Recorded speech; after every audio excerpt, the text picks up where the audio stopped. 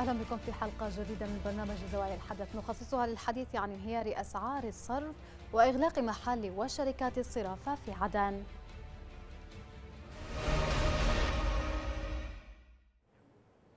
قالت مصادر محلية إن محل وشركات الصرافه في العاصمة المؤقتة عدن أغلقت أبوابها عقب انهيار سعر الصرف.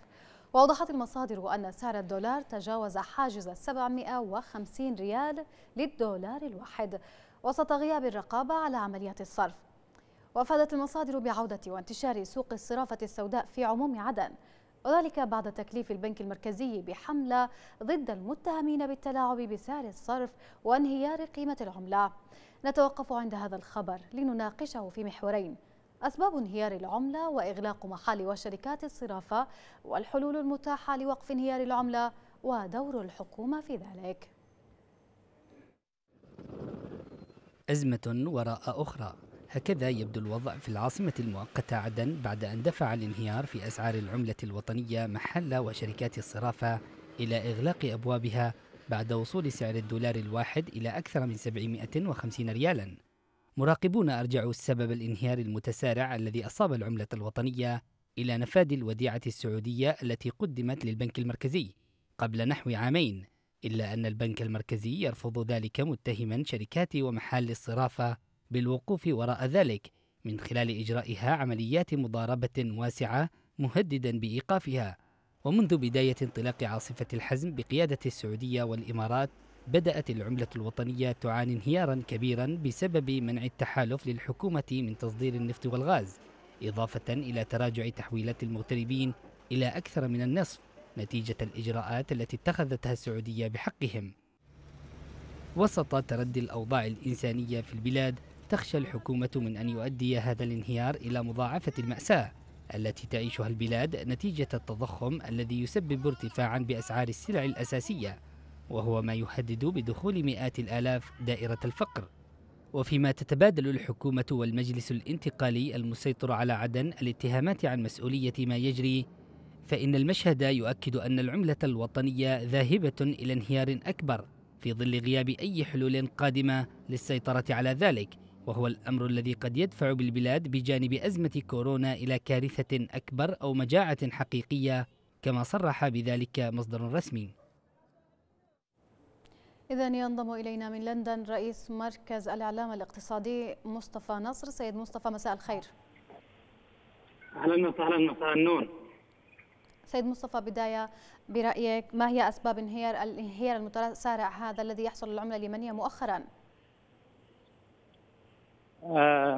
شكرا جزيلا في الحقيقة هناك عدة أسباب أقف وراء هذا التدهور السريع لسعر الريال اليمني مقابل الدولار والعملات الصعبة أبرزه حالة زيادة في الطلب على الدولار والعملات الصعبة الأخرى عقب إجازة العيد وكمتطلب للاستثمار في ظل انتهاء فترة الوديعة أو انتهاء الوديعة السعودية التي كانت آه، قدمت لليمن. وأيضا آه، توقف كثير من البرامج برامج الدعم المباشر آه، لليمن. ويبدو أن لهذا ارتباط معين بالجانب السياسي وباتفاق الرياض. وبالتالي تزامن هذا انتهاء الوديعة مع مع كما قلت زيادة في الطلب المحلي على الدولار والعملات الصعبة الأخرى. آه، أضيف آه، إلى ذلك موضوع آه، إنزال كميات من العملة النقدية المحلية المطبوعة وأيضا تراجع صادرات النفط وتراجع قيمة صادرات النفط وتراجع عائدات المغتربين. كل هذا الحقيقة كل هذه الأسباب مجتمعة الأسباب كثيرة سيد مصطفى لكن لو نركز لو نركز فقط على السبب السياسي الآن في هذه النقطة وبعد سيطرة الانتقالي على أغلب المؤسسات الاراديه في في عدن العاصمة المؤقتة كيف كان تأثير ذلك على العمر على العملة؟ آه، في الحقيقة هي مشكلة الاضطراب السياسي وعدم الاستقرار وحالة الفوضى الأمنية آه، والمعارك التي تدور أيضا بين الانتقال والحكومة في في ابين وغيرها. كل هذه هي تدفع بمزيد من التأزيم للعملية السياسية وتنعكس مباشرة على الوضع الاقتصادي. الآن لا يمكن نتحدث عن استقرار سعر الريال ومستقبل البنك المركزي أيضا مجهول. أيضا كميات أو الاحتياج من النقد الأجنبي لاستيراد المواد الأساسية غير موجود، الحكومة تواجه أزمة خانقة فيما يتعلق بالإيرادات لا سيما بعد تراجع أسعار النفط عالميا. كل هذه الأسباب مجتمعة في الحقيقة تؤدي إلى هذا الضغط كبير على على الدولار والعملات الصعبة الأخرى. بالمقابل أيضا لا يوجد إنتاج محلي تراجعت طبعا إيرادات المغتربين والحكومة نفسها أيضا غير متواجدة في في في عدن وهذا كلها تؤدي إلى إلى هذا المشهد المأساوي للريال والتصاعد المخيف الذي ينعكس على التضخم وينعكس على ارتفاع الأسعار. طيب لو تحدثنا عن المنح الإنقاذية وتحديدا المنحة الأخيرة التابعة لمؤتمر المانحين هل نأمل في إحداثها فرقا وهو مبلغ كبير تجاوز المليار دولار؟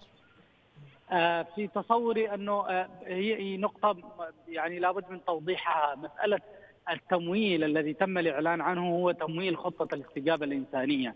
التابعة المعدة من قبل الأمم المتحدة والوكالات التابعة لها.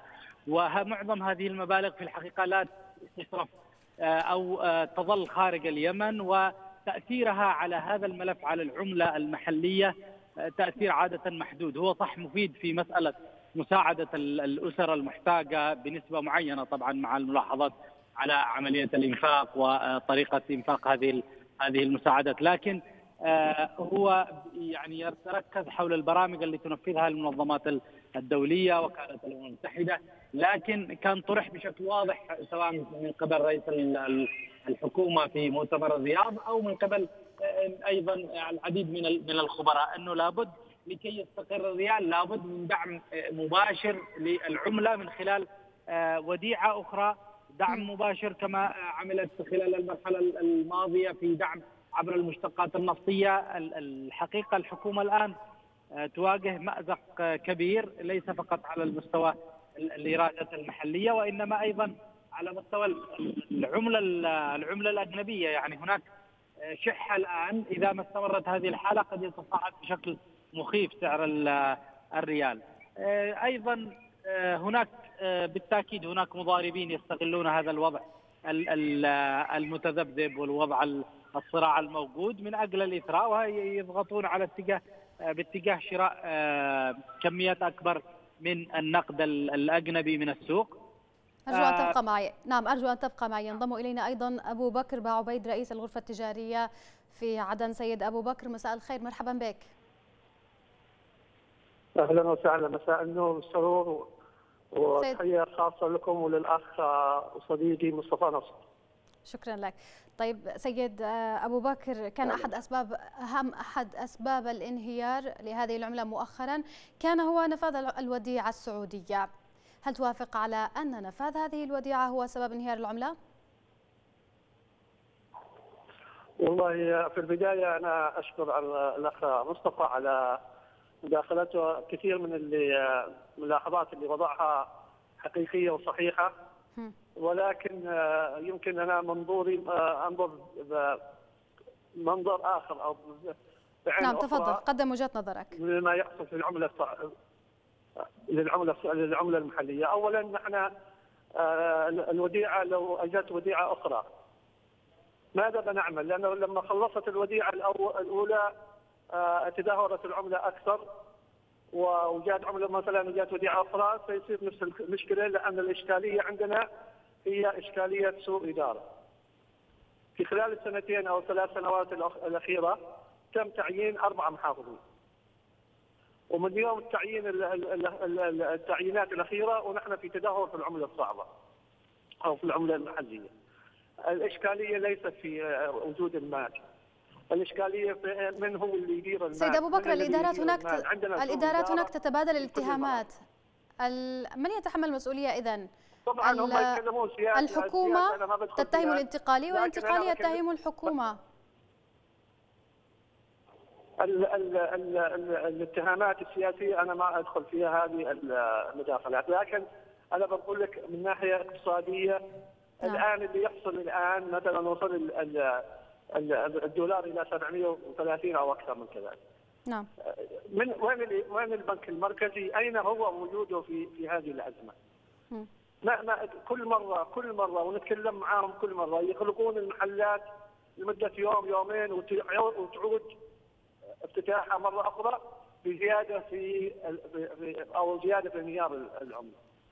هذا هذا ليست حلول.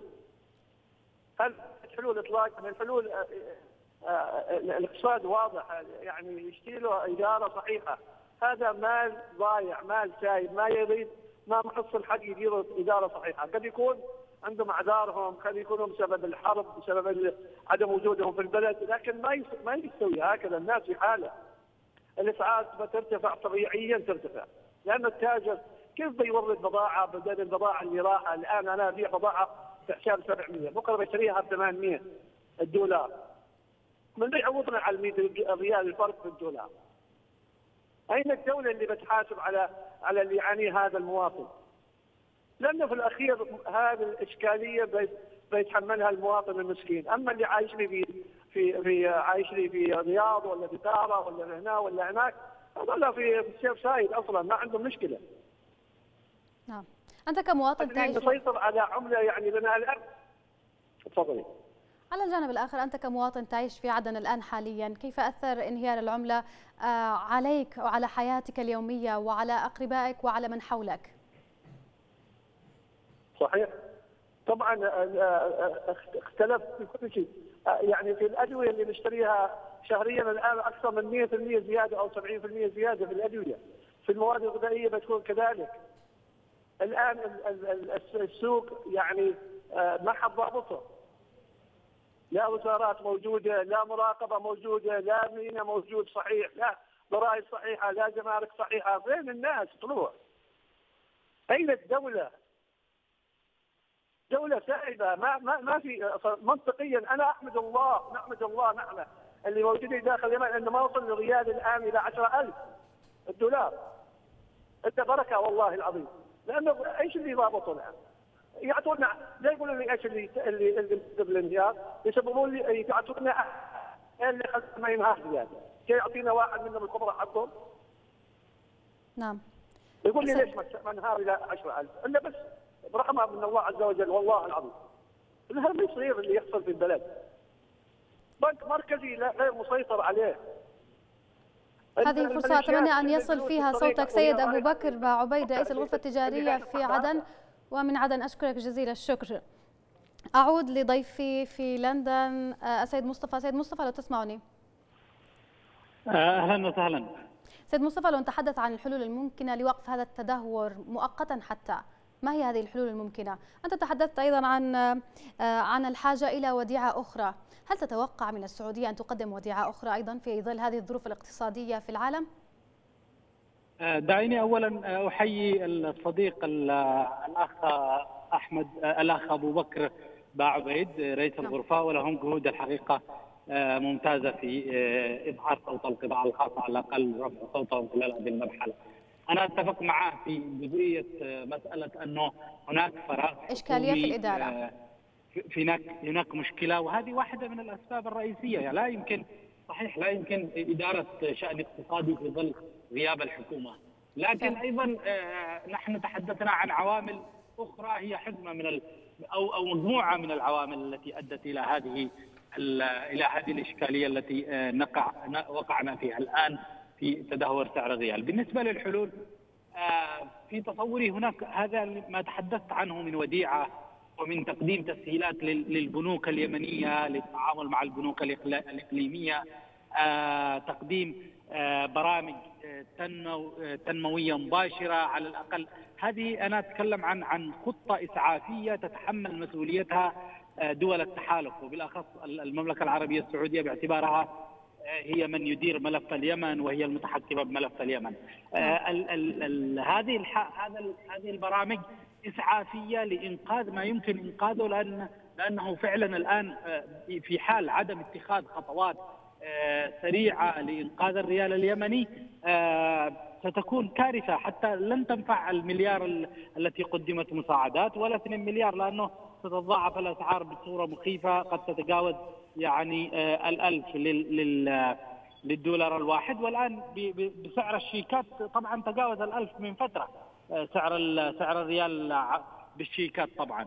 فهذه إشكالية إشكالية كبيرة. هناك على المدى المتوسط في الحقيقة أيضا مجموعة من من الحلول التي يفترض أن تتم. لكن هذه الحلول لن يتم تحقيقها ما لم يكن هناك إدارة حقيقية وحكومة موجودة تسيطر على أو تسير السياسة النقدية والسياسة المالية للبلد ككل. الآن في الحقيقة هناك حالة من الفراغ.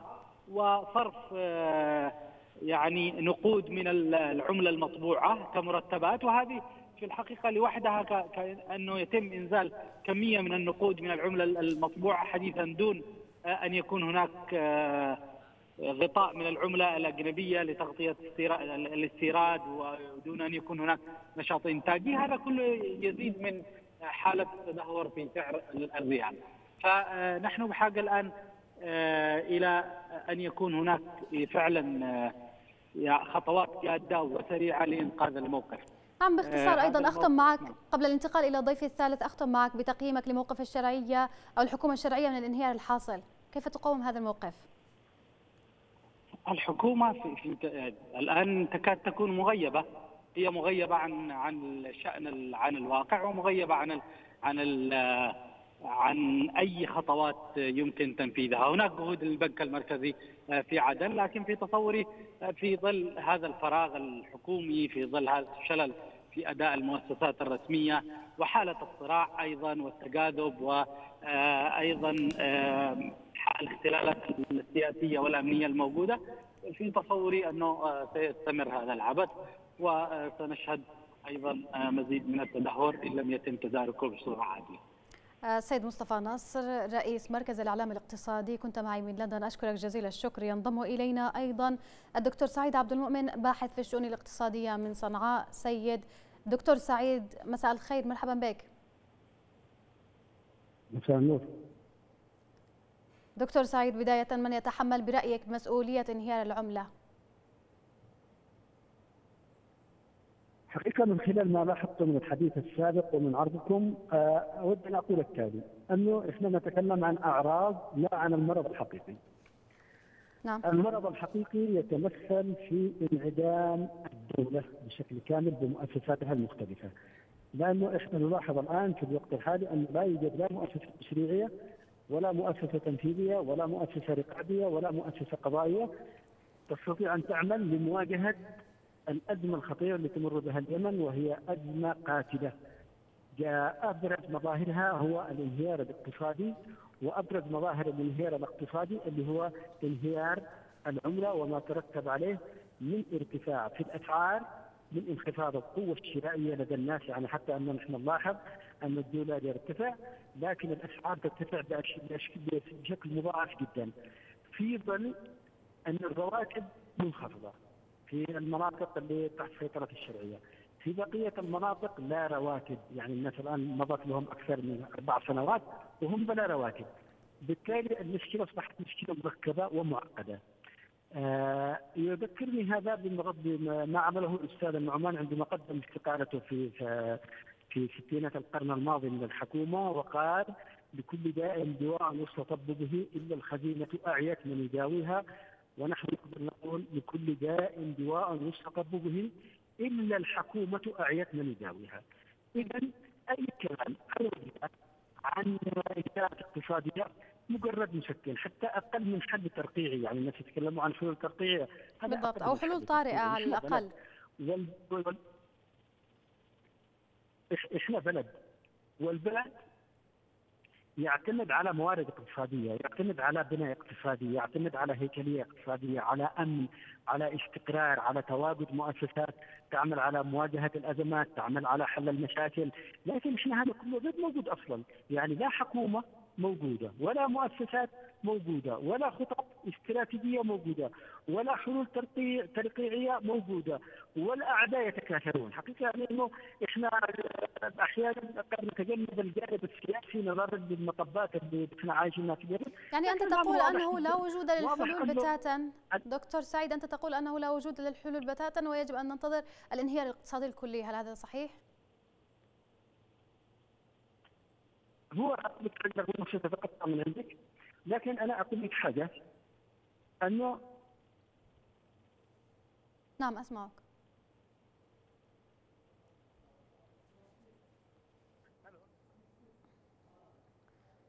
إذا فقدنا الاتصال الدكتور سعيد عبد المؤمن. كنت معي من صنعاء الباحث في الشؤون الاقتصادية. أشكرك جزيل الشكر. مشاهدينا نكتفي بهذا القدر. شكرا لحسن متابعتكم. إلى اللقاء.